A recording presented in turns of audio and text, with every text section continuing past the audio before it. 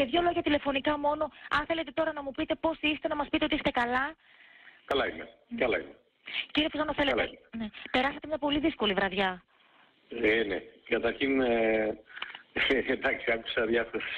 Μου λέγανε ότι δεχτήκαν διάφορες ιστορίες. Δεν κοιμόμουν ε, που μπήκαν μέσα, ήμουν αξίπιος. Μμμ.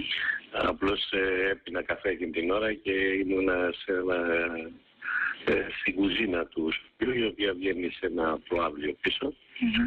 σε ένα κυπάκι Ναι. και είχα αφήσει την πόρτα ανοιχτή ναι. και βρήκαν την πόρτα ανοιχτή και μπήκαν. Ήταν τρεις άνδρες ε, μπήκαν στο σπίτι. Τρεις, ναι, τρεις φυσμένοι. Κρατούσαν όπλο και μαχαίρι, όπλα και μαχαίρι.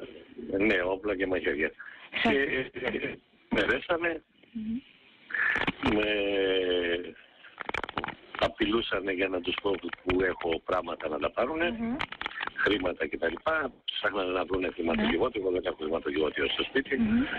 Ε, Είχα κάτι λεφτά, τους είπα ότι είναι, γιατί άρχισαν να ζορίζουν πολύ και έπρεπε να ε, κατά κάποιο τρόπο να τους ε, καλάρω, διότι όταν έχεις ε, ένα μαχαίρι στον ένα κρόταφο και ένα πιστόλι στο άλλο και ένα πιστόλι στην πλάτη, ε, δεν είναι και εύκολο να ξέρεις ποια θα είναι η αντίδραση του καθενός. Μμμ.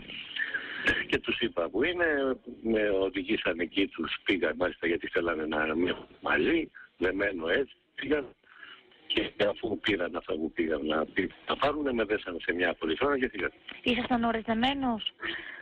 Ε, μου είπανε να κάτσω μια ώρα και πριν κάνω οτιδήποτε. Εγώ ένιωσα ότι είχαν φύγει πιο νωρίς, γιατί δεν ήταν απόλυτη ησυχία στο σπίτι. Μμμ. Και σύρθηκα με την πολυθρόνα όπως ήμουνα σε ένα σημείο που είχα κάτι, μια εργαλειοθήκη. Μμμ.